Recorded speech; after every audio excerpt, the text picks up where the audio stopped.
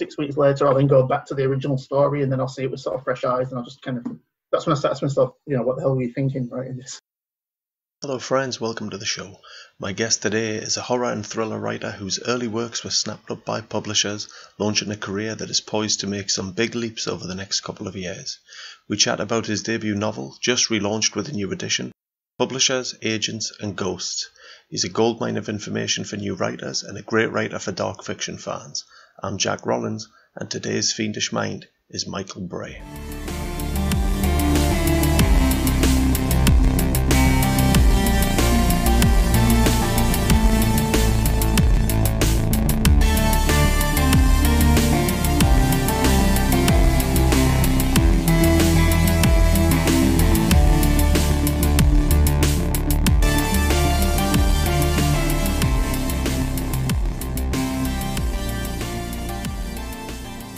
Michael. Good to have you here. Hello, how are we doing? I'm good, thanks. How's your day going? Uh, it's not too bad. Enjoying some rare sunshine. It's all good. Do you find it easy to write even with the good Um, weather distracting you? It'd probably pull me away more if I could go to a pub. But because I can't go to a pub, I kind of tend to stay where I am and, and do what I should be doing. Yeah, Procrastination's not as um, intense at the minute. yeah, It's all good. that's the thing. I do miss a beer, like I've got to admit, out in the pub. Yeah, it's Um, beer garden weather. Most definitely beer garden. well, I figured we, we would dive right in. We'd, uh, that we'd go back to the beginning, Michael. So, Yeah. you know, just tell everyone about when you started writing. When did you really get serious about writing fiction? Uh, yeah, it, it, it was actually kind of by accident. I, when I was a kid, I kind of dabbled on and off with sort of short stories and things, but nothing too major, which is sort of for a hobby. I was in creative things. I was into art when I was a kid. Um, got into music, joined a band that did quite well. We did some recording, did a bit of touring, which was quite good. In about 2011, 2012, that kind of fell apart essentially. It stopped being a thing.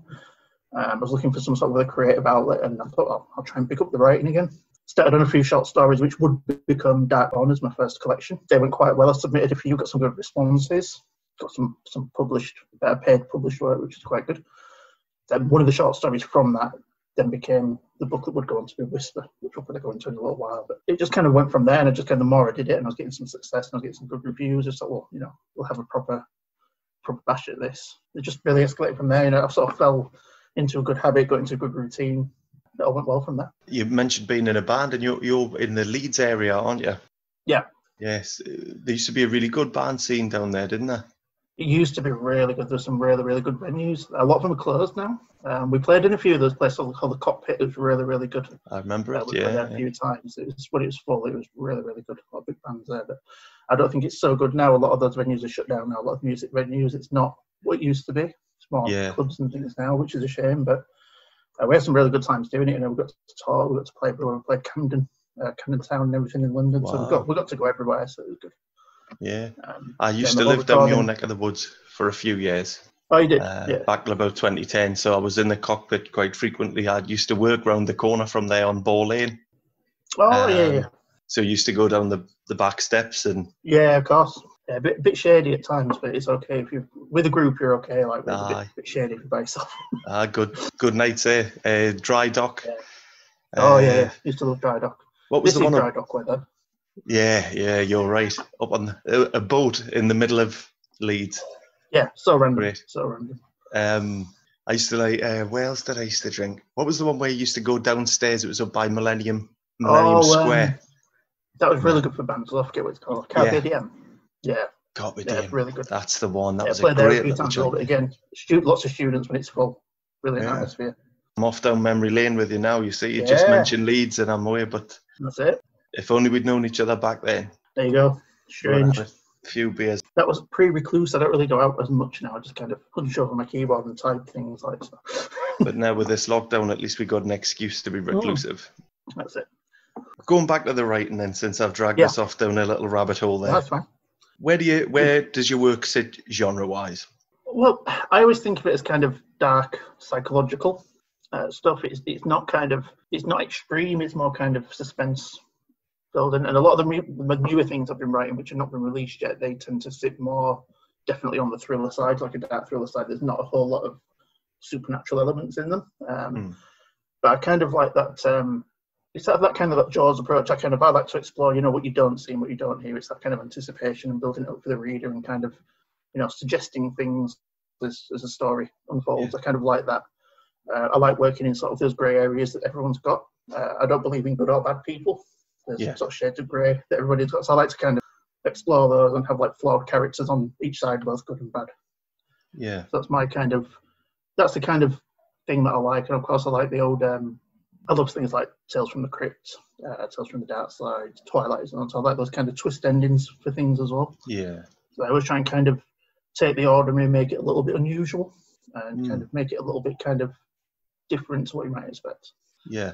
And do you do you enjoy writing short fiction more than novel length pieces or does it just depend? Both. I mean, I think that I enjoy both, but they're, very different disciplines for me. Short fiction, I'll just kind of get an idea and I'll go with it and I'll just write it. I won't kind of give any thought to where it goes.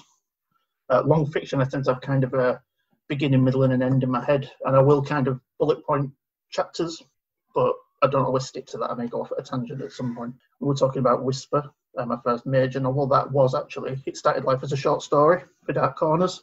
Yeah. I was just writing it and writing it and writing it before I realised I had like 35,000 words. I was nowhere near the end, so I was like, well, let's just carry on with this and we'll see where it goes. And, yeah, let's. You know, it turned out uh, to be. Did you keep? You know, did you keep the the short version of that? Did you keep the that original short I've, story? I've it, yeah, I've, I've, actually got it somewhere. It's around the short version is around nine pages, I think, or something like that. The unedited first draft of the novel was 122,000 words, so it was a bit of a yeah, monster. big difference, yeah. So it's it just it kind of just, just took a life of its own. It's like well, I'm not going to kind of stamp on it just to kind of fit it into a short story book. I'll just carry on and I'll see, you know, where it takes me. And right. So it, it never hit. It wasn't in Dark Corners in a short form then. No, no. It, this was during the com- when I was compiling the stories for Dark Corners. This is one of the stories I was intending to include uh, yes. within it when I started writing it. But then during the writing process, it took a life of its own. So I kind of I see set it to one side, finish the stories for Dark Corners, and jump back on that straight away. And I was kind of writing that and another book called Meat at the same time, a vampire thing. So I was kind of doing three projects at once early doors. I don't tend to do that now. I tend to stick to one at a time. But, yeah. You know, all that enthusiasm when you first start and all that sort of stuff. I, I, don't know about you, but I find I, I find that just trips me up. I just start. Yeah, yeah. I used to, I used to do it, but I think I think now it's like one at a time. But it's annoying when you kind of three quarters through something and you get an idea for something else that you really really want to write, and you have to kind of okay, don't just wait, and you can do it. Like, there's a reward when you eventually finish this story. Kind of. Yeah. when you when you are sat writing, because I, I do want to come back to Whisper. Yeah. But when you are sat writing how much planning goes into it? Uh, do you have any writing rituals? Do you have to have, you know, a certain room, a certain light, a certain music? How do you like to work? Well, for a time, I was able to. I was lucky enough. I was able to do it full time as my job for four years. Mm-hmm. Um, and the plan was then it was to kind of treat it as a job. So I converted the spare room into an office, put the desk in there, had set time, so I'd get up, start work early, no distractions, you know, like no TV, nothing like that. So it has to be kind of the best thing is to remove any sources of distraction from you, anything that can kind of take you away from what you're doing. Because it's so so easy, especially when you're working from home. It's so so easy to get distracted by TV or yeah. PlayStation or whatever. You know, it's, it's so so easy for anything to kind of drag you up, and before you know it, you've you know you've wasted half a day and you've not got any work done, and then that can just kind of drag on and drag on.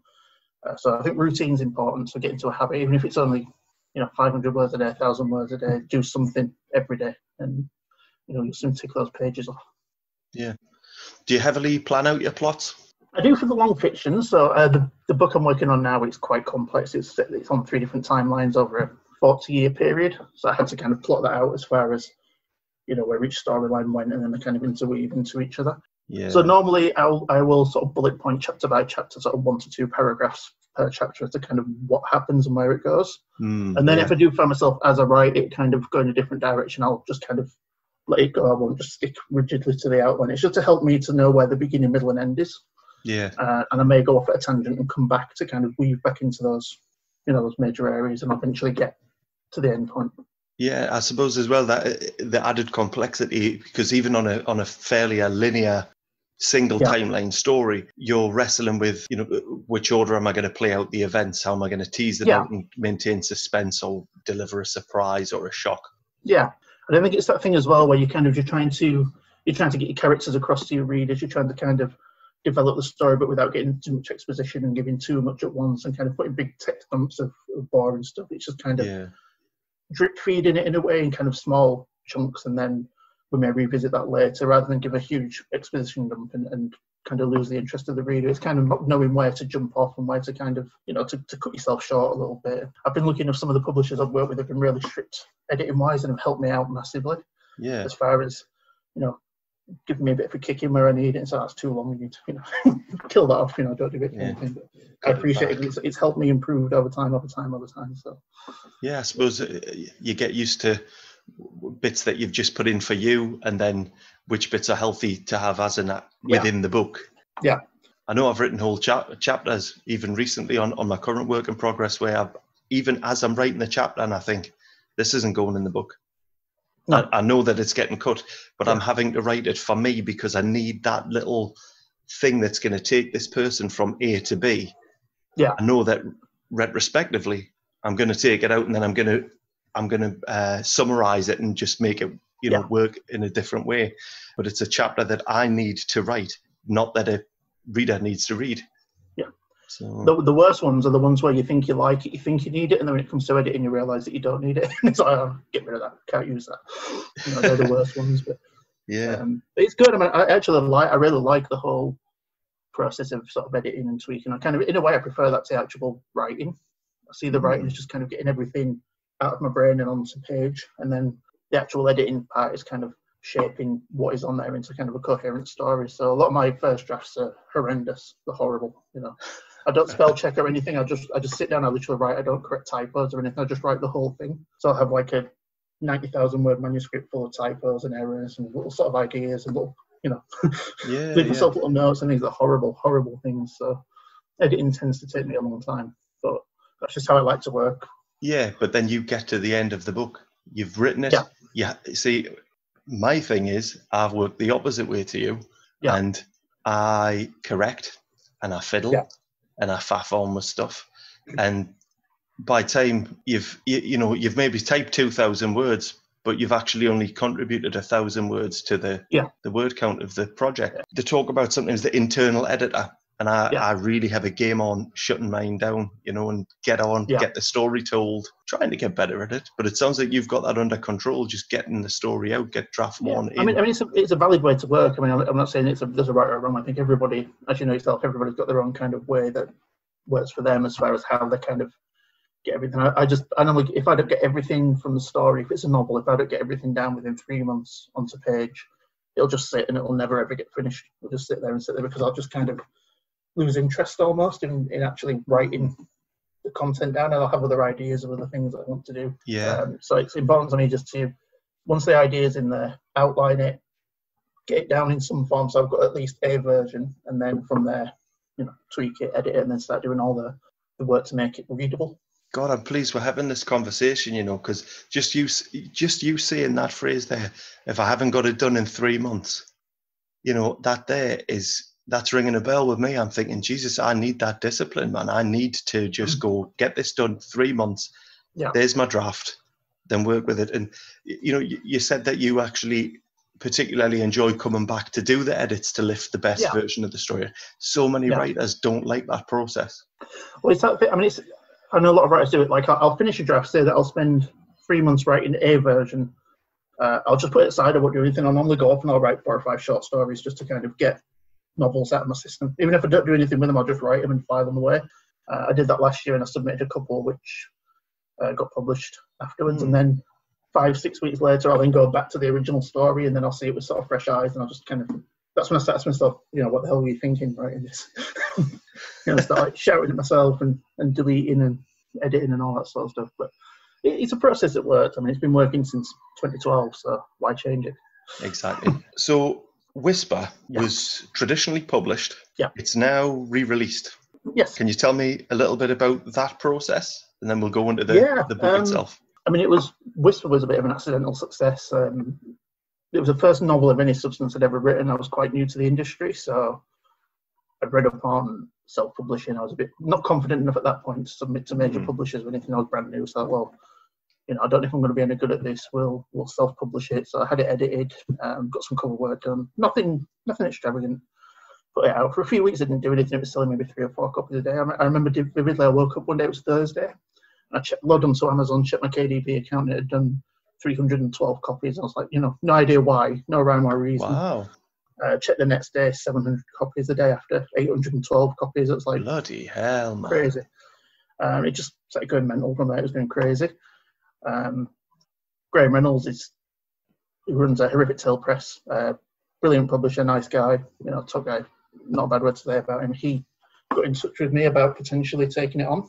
Mhm.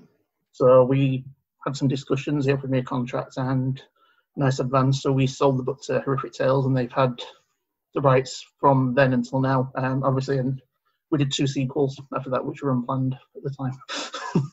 um, it was just at the time that recently the um, the contract term had, had come to an end, and as much as I was perfectly happy with Horrific Tales, you know, no no issues with them whatsoever, no complaints. I just thought it'd be time to kind of bring them back under my own Yeah. ownership because there is kind of half a plan to because I wrote them in 2012 and there's some things in there that I want to kind of maybe readdress. So I was thinking of maybe doing new edits of them maybe next year or the year after when time permits, Hmm. um, and maybe just make a few tweaks and make a few changes to things that, looking back now, are kind of something that I'd like to address. I mean, I love the books, and you know, people tend to like reading them, and I really love the books, but and I can't thank Graeme and Horrific Tale Publishing enough because they did ridiculous amounts of work. They put so much effort into promote it and advertise, Yeah. and, you know, get them out there. And I think they hit uh, number one in America and the UK two or three times during the time of Graham in the charts. So I don't know quite how many we sold, but it's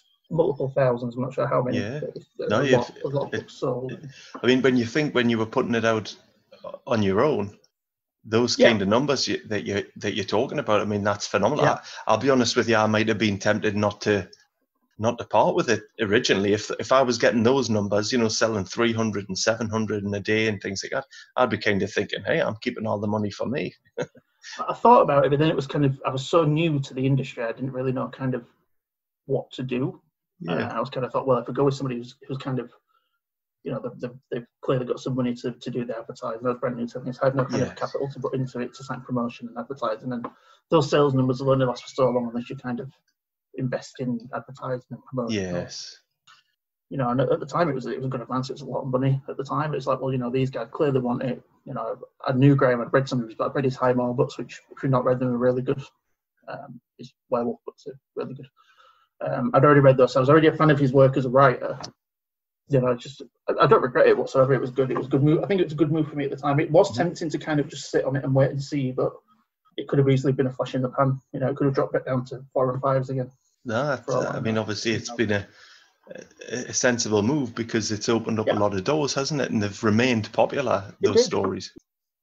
And a bit of a bit of an exclusive as well. I'm kind of close to. Um, I don't know. Well, I'll say it anyway. 'cause it's not an official, but we're close to getting a, a film signed off. Oh, Whisper as very well. good. And Uh, did you write the script? Possibly year after next. I'm going to be writing the script. Yes. Oh, right. So it's Yeah, so it's going to be. Well, I'm going to be co-writing. I'm going to be writing the script. It's going to be with team of other people potentially. I see. So they've approached Um, you off the, the book. This isn't a s- Yeah, screenplay well, that I've- I've you've been bit of, pitching um, around. I've done a little bit of screenwriting for a few of the people since. I've done some sort of short films and stuff, and I've been working with a few, you know, like-minded people. Yeah. Um, we just got to talking about it, and you know, we I, I sent over the ebook of Whisper. Just said this is what I'm kind of going to be shopping around. Do you want first option on it? And I had a look, and they, they seem really keen. Obviously, I, I can't go into too much detail yet because there's going to be more course. No. for a release down the line, but that's looking good for uh, possibly 2022, possibly. We'll see. Ooh, But, exciting um, stuff. Uh, It would be nice to see it because that's one thing readers always come up to me about is like, when are we getting a film? We need a film or a TV series. Like, if it was up to me, you'd have one. It's not as easy as. yeah. Tell everyone a little bit about Whisper then. What's it about? When's it set? Where's it set? Well, it's set. It's kind of.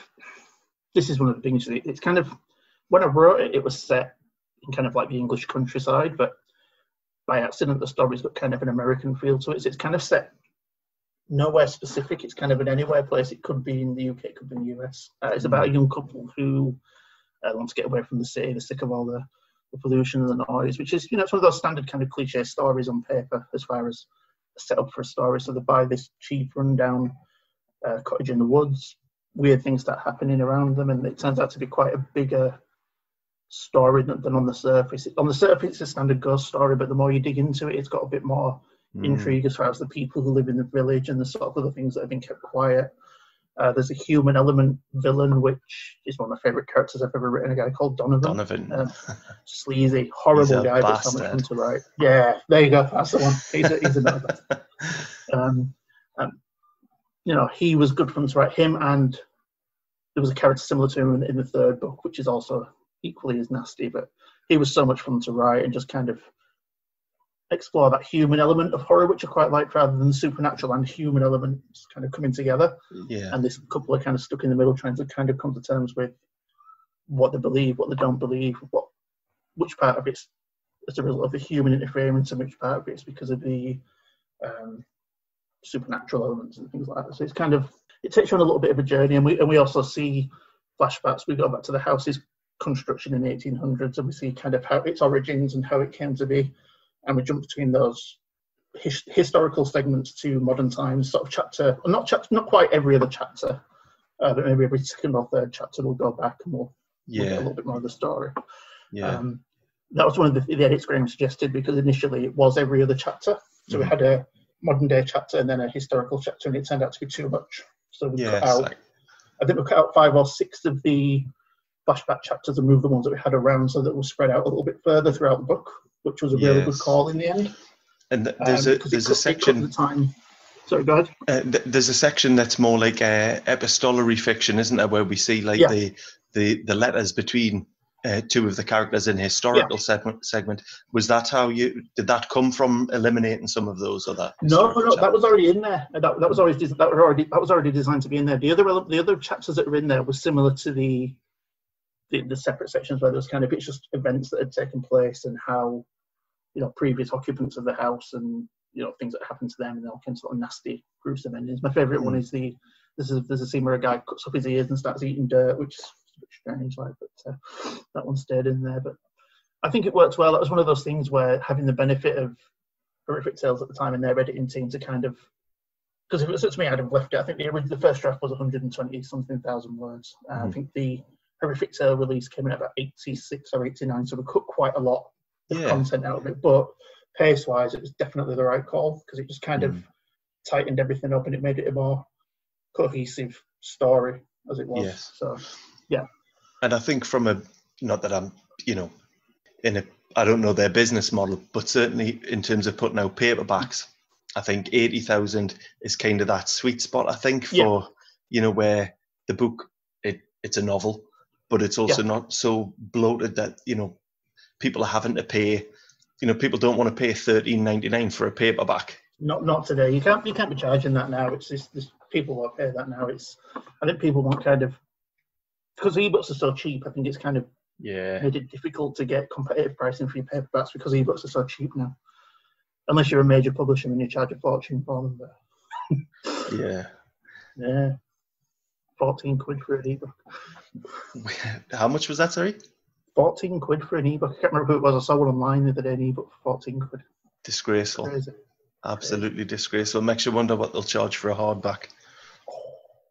They'll want blood. Yes. Where did the uh, initial idea for Whisper come from?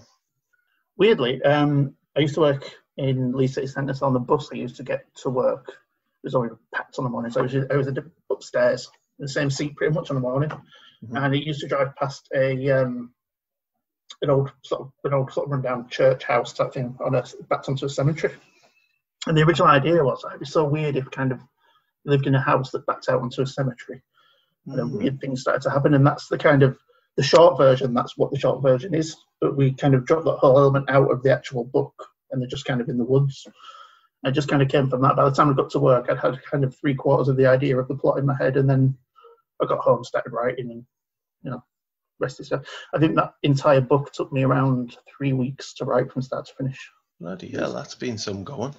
Yeah, just every that's every minute of every day. It was like so quick to get it down on paper. It's just it was just you know when you get in that you know when you get in the flow and you just can't kind of doesn't happen so much these days. But back then it's like you know just get into it. It's a bit harder work these days, but Well, um, family and yeah, things it, it that. came together quick.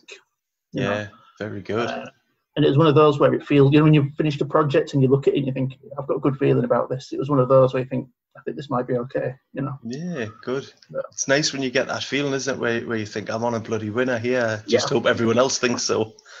Yeah, I mean, you get it's good, man. We get, but it, it's tricky because some other times it gets to the point where I don't know if it's just me that usually around the halfway to three quarters point, I'll hit a massive lull and I'll find it really difficult to make any progress in the novel.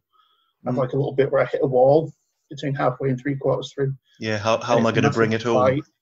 Yeah, it's a massive, massive fight. Then when I get to the point where, you know, I'm on the final stretch, things sort of pick up again and pick up pace. But that halfway to three quarters mark is always a big, big, big um, problem. Not problem Yeah. for me. It's just it's difficult to get through. It's hard to do the writing for it. And you said before you hadn't planned it as a trilogy, but we got echoes and voices from the same uh, Yeah. initial setting. What made what drove you to to to add those, you know, to to draw more upon that mythology and expand it?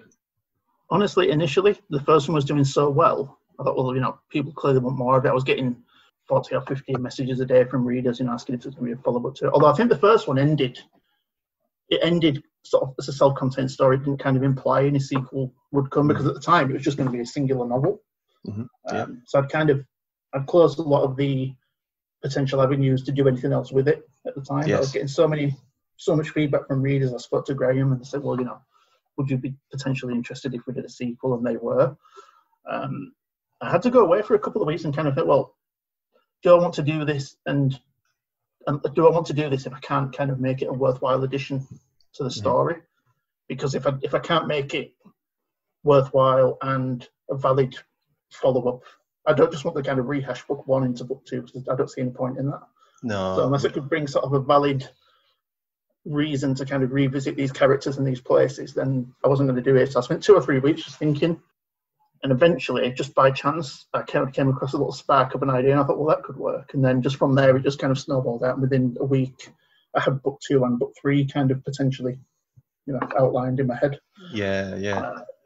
Um, and one thing people say about the trilogy is you can read them all as a trilogy, but each story, each book is an individual self-contained tale by itself, but it's also part of a bigger overall story. Well, which I've read that's what I was going for. I've well, I've read Whisper and I very much enjoyed it. And uh, Yeah. one thing I'll say is you're not frightened to put your characters through the mill. It's all part of the fun. All part of the fun. I love doing that. Yeah, I mean, it, it you know, it, it- there's some it's a- like a slow burner. That you know, figuring Yeah. things out. But I tell you what, that third act, Jesus Christ, it just hammers through. Yeah, it, picks up. I mean, that, that was very much deliberate. I kind of wanted to.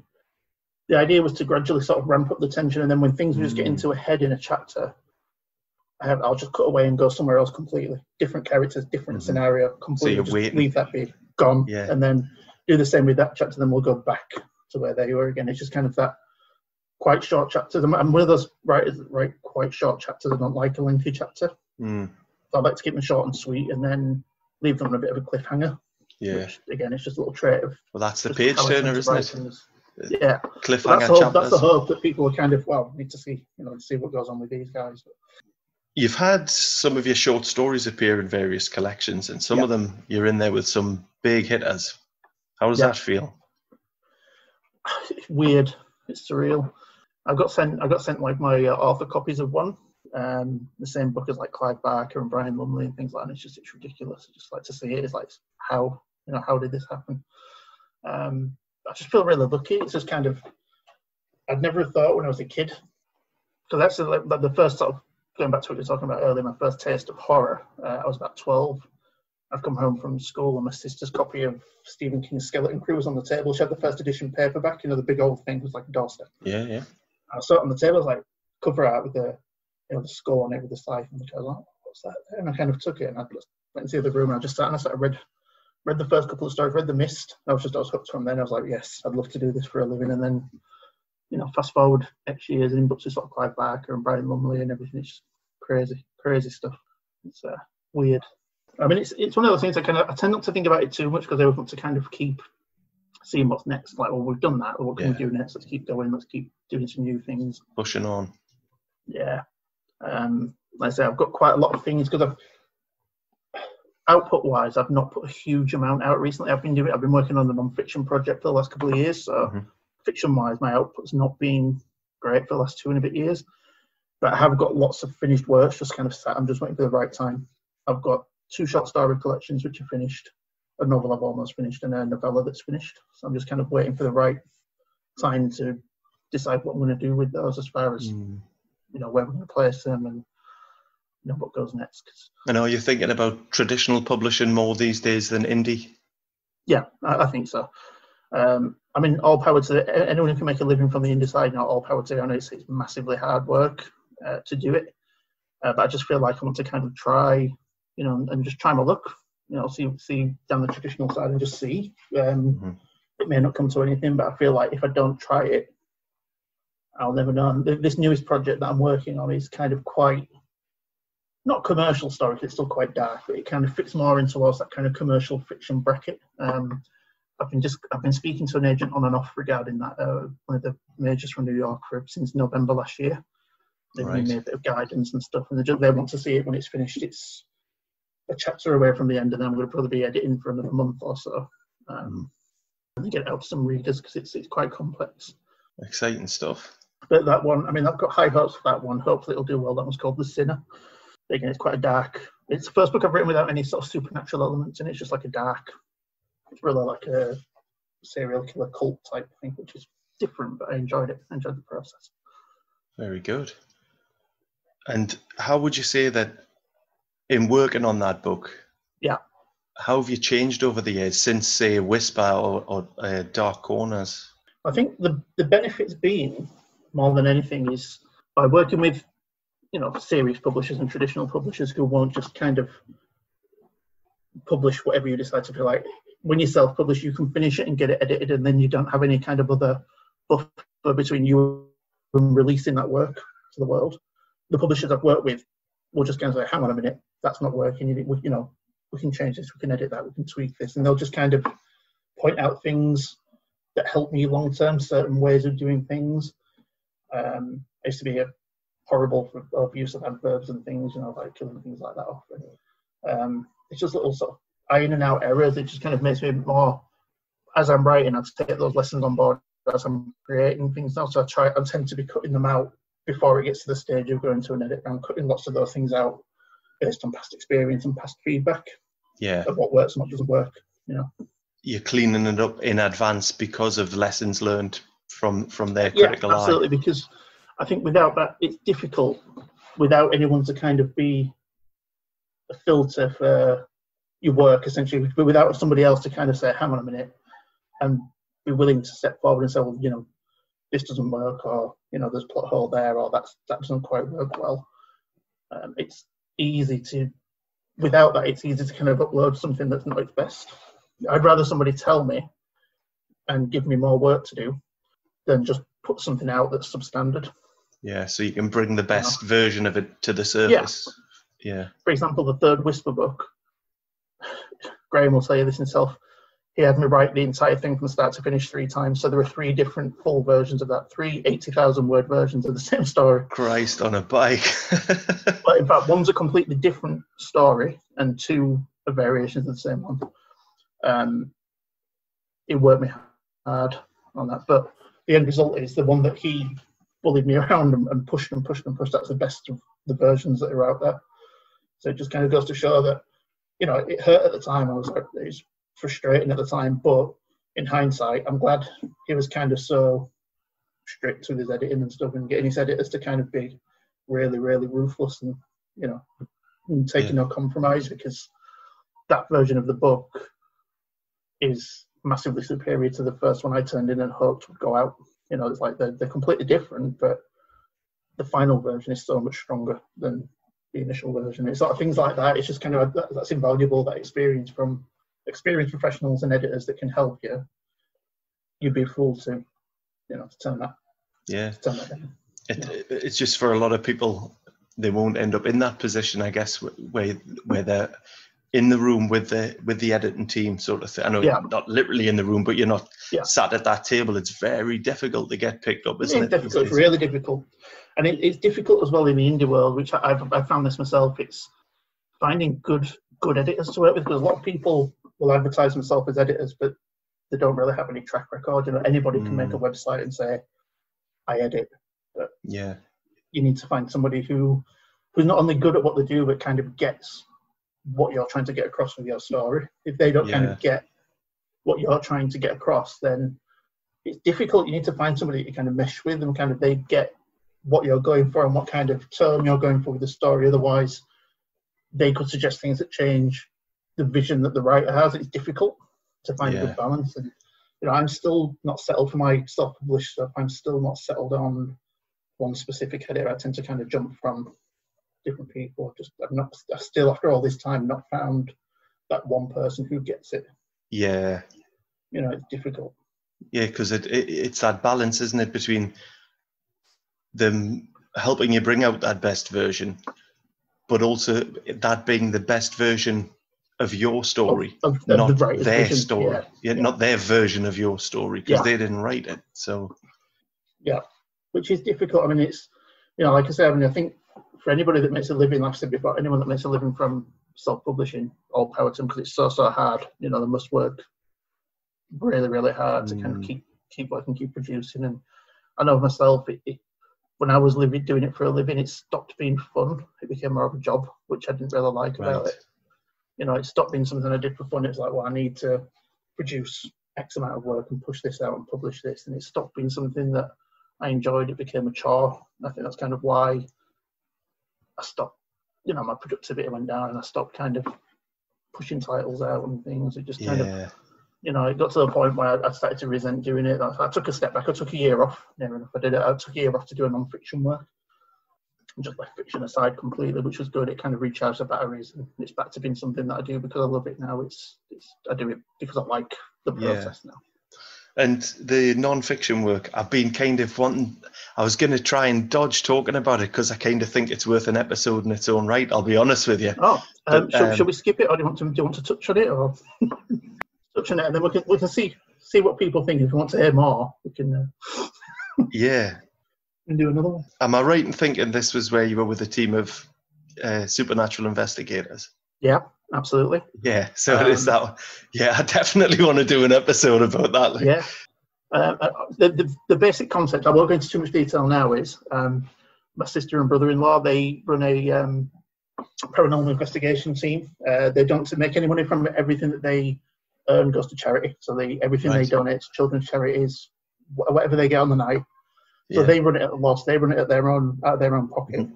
Everything that they get on the night goes to charities. So I wanted to do something where I wanted to sort of shadow a, a paranormal investigation team because I'm, I'm a bit of a skeptic myself.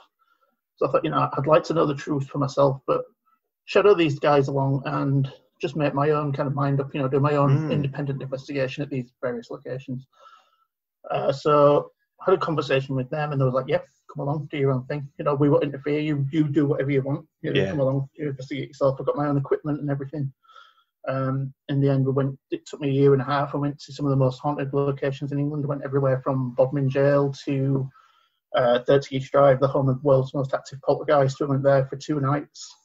I won't go into it now, but there's some really, really strange things went on, and Wow. got a lot of good evidence, which is all on video and audio. And as, as part of the book that came from it, you can actually, as you read the book, and a specific chapter, you can go and you can review the evidence for yourself. So if it's a chapter on Wow. location X, you, you, when it says, you know, we captured strange footsteps, uh, you can follow the link in the ebook. I can just go onto my website, Yeah. find the video, find the audio, review it for yourself, make it your own mind. So everything that we encountered, that I encountered myself, Yeah. video, audio, pictures, it's all on my website for the Oh, reader to make up their own mind.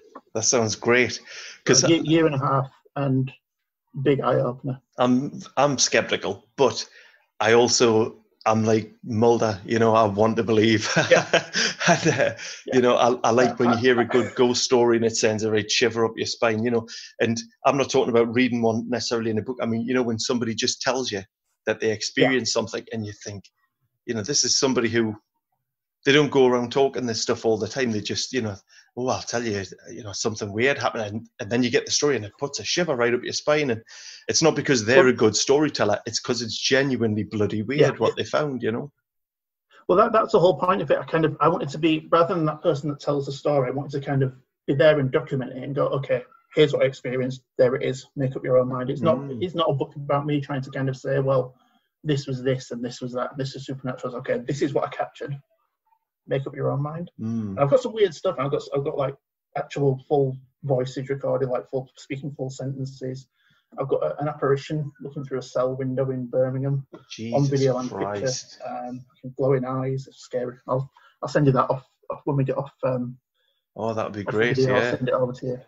But it's really really good. I mean, there's some some weird stuff. I mean, obviously we'll go into it more if we do a later day. But there's some really really weird weird things went on. And, that, and uh, I went in 100% skeptical of it all, and I'm probably about 60 40 towards believing now. Ooh, worked on you then. That one's a truth stranger than fiction. It is. Is that yeah? I mean, I'm going to put links in the show notes to some of your work anyway, Yeah. but I will put that one in. Yeah, Uh, that's, and- I'd be curious. I, I, I kind of, I'd like to see what people think of it because you know it's one of those subjective things, isn't it? The paranormal, like you know, get people who outright believe in it all and believe everything, and then some who are unsure, and then some who outright say, you know, not all. I mean, it's always interesting to kind of get different opinions on you know, what Yeah, yeah. be there. I think I might have to look up your family as well, get in touch with them. Oh, they're, they're always they're, they're always. I mean, they're, they're itching to get back to it. Obviously, the lockdowns put a bit of a Of course. bit of a, a, a dampener on their on their exploits, but they get everywhere. They're really really good. Yeah, might have to get them on and have a have a chat. Um, I'll just a little plug for them at Veritas Paranormal. They're uh, a little plug for them. I'll give them a little bit of a little bit of a cheap plug.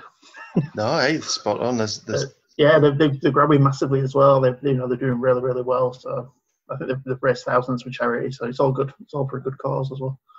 oh, that's great. Yeah, I'd love to have a chat with them. Definitely, they'll always be up for it. We've we've talked about publishers, Yes, but there is another aspect of the of writing that you're gonna you're gonna say the A word, aren't you? I am the dreaded A word. um, so you've obviously engaged with a lot of, uh, you know, you, because you're focusing on the, the traditional publishing route Yeah. at the minute, and you know, you've you've mentioned this things like you know screenplays and things like that. Yeah. Um, and I guess for a lot of newer writers listening to this, they might think, well, you know, I've got the Writers and Artists Yearbook, and I, I don't know whether I need to go for a publisher first or an agent. Do you have any uh, experience with agents or uh, any thoughts on agents?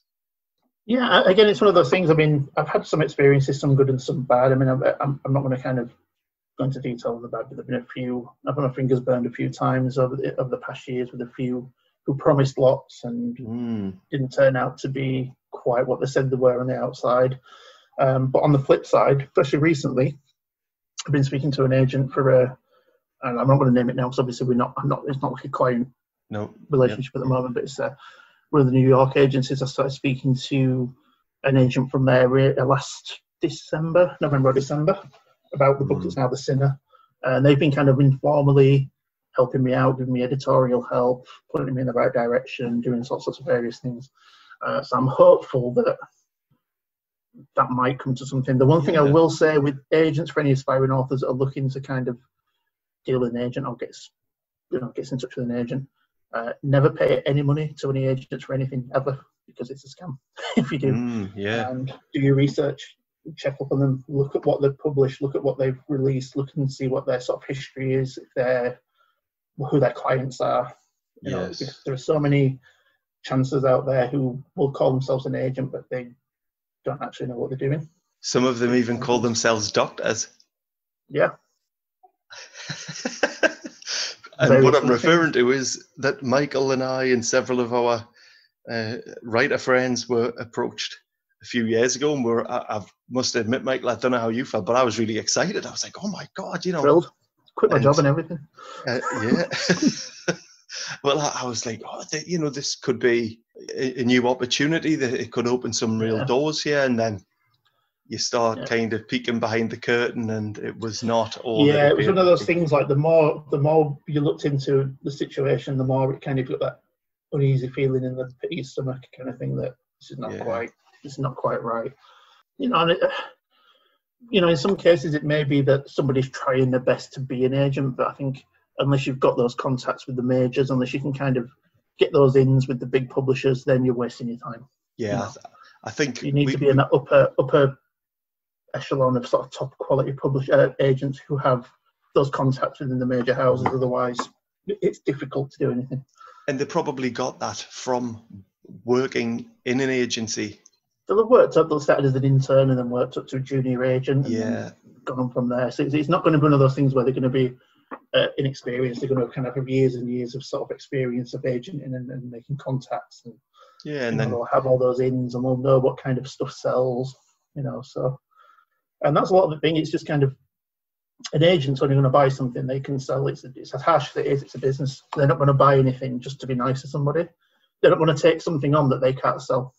yeah, and I think as well, just listening to what you were saying before about the agency that you've been in talks with. Yeah. Listening to the input that they're having on your next project, they're really investing time in that. So they must Yeah. believe that this time is that it's Yeah. going to be worth their effort, isn't it? They they must think, well, you know, because obviously they're looking to get a commission of work they help you Yeah. place. So Which is fine. I mean, if, if they place it with a major, then you know I'm happy for them to take their. I think it's like 15 to 20, 22 percent Mm. typically for an agent. I'm quite happy then to take whatever you know there could be. I mean, it's nothing's set in stone yet. There's a long way to go. It may be that when the book's finished, it may not be right for them because it's it's Yeah. still in that process where I'm still sort of shaping the direction and and everything. But that's fair enough. It's just for a new writer, especially looking for an agent can be really demoralising because there are far more authors looking than agents that are looking for new clients. So the competition is ridiculously overwhelming. Mm, You know, I think I read I think I read a stat somewhere for every literary agent there's maybe sort of two and a half, three thousand authors looking for representation Yeah. or something stupid like that. So it's it's difficult and it's got to be you've got to have that kind of perfect storm of you like the agent themselves, you get on, they get what you're trying to do, they like the project, they've potentially got somebody further up the chain that I can sell to them or they might buy this. So it's got to be that perfect storm of everything aligning to kind of make that kind of relationship work because ideally it's not a one off, they're gonna want a you know, a career out of you, you know. yeah, After they sell that first book, then they're like, okay, what's next? And you need to be able to actually deliver that. You can't just kind of sit on the one book. and need be like, okay, well, what's next? What you can, you know, what will we selling next year, or you know, what we're selling the year after that, kind of yeah. Because they've got to make sure that you thing. that readers don't stop asking where where is your next book you know you, No. so you need that pipeline of work coming out to to remind everybody i'm still here i've got another story to tell otherwise all that investment in The in you is, as an you'll get forgotten about. And I Mhm. did actually ask the agent themselves, so what what is it that kind of what is it that an agent looks for? What is it what is it that a good agent looks for in a potential new writer? And they said to me, they look for writing history, um, you know, how much stuff you put out. Not necessarily how well it's doing, but if you've got a good platform, that's good. If you've got good social media platforms, that kind of thing, that's always Yeah. good.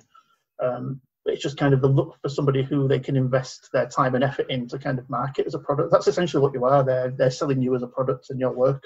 Yeah, yeah. You know, um, as harsh as it is, they unless they they're only interested in making money, which is fair enough. Like any business, you know, they want to Yeah. sell your work to make some money.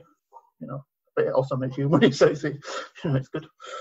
you've got bags of experience now under your belt what advice would you go back what writing advice would you go back and give to your younger self Is, is that a nice way of saying I'm really old now?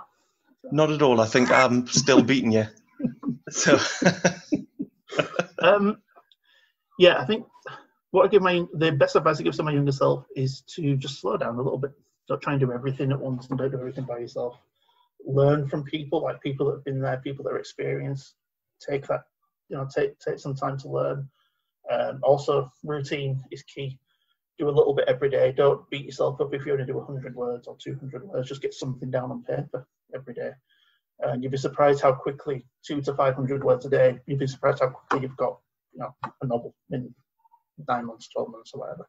yeah You know, but just try and make sure you do at least something every day and a bit of self belief. But you know, there are a lot of writers out there, and you know, some good. There's some good up and coming talent coming up. I've seen some, you know, floating around. Um, I've been doing a lot of stuff with uh, more on the artwork side with uh, Kevin Kennedy. He's doing a lot of uh, anthologies and stuff at the minute. He seems to be doing really well. yeah he's doing Uh, great he's coming on next he's week Doing really, really well. So it's you know some really, really good top quality authors out there at the minute. It's nice to see the you know communities flourishing. It's good. Yeah.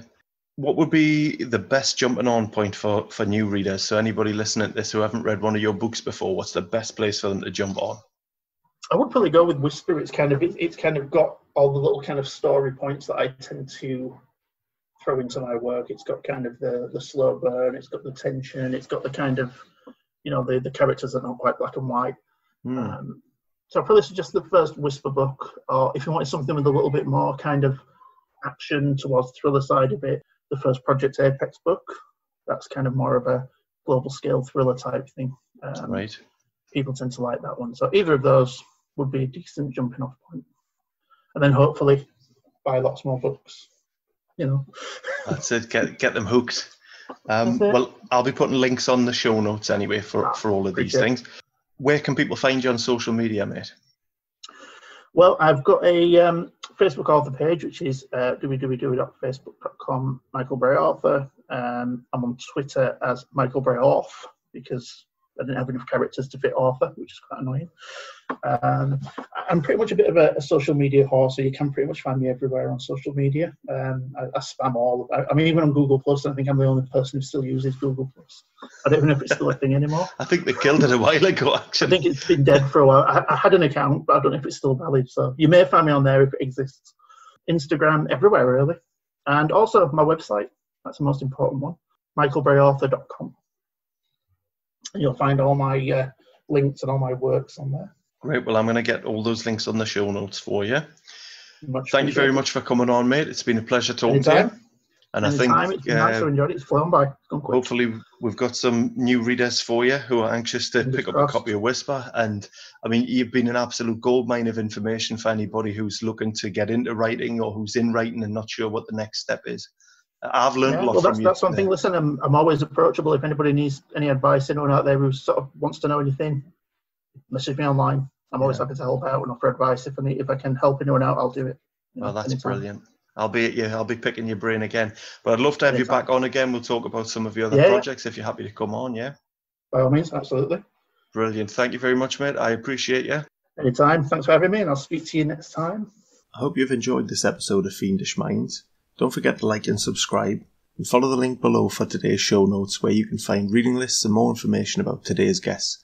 Thanks for listening. Catch you next time.